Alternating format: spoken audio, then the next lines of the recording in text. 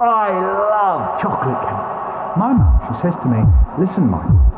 if there's any chocolate cake left over at the end of the day, you can take some to school tomorrow to have at playtime. Oh no, it's all gone.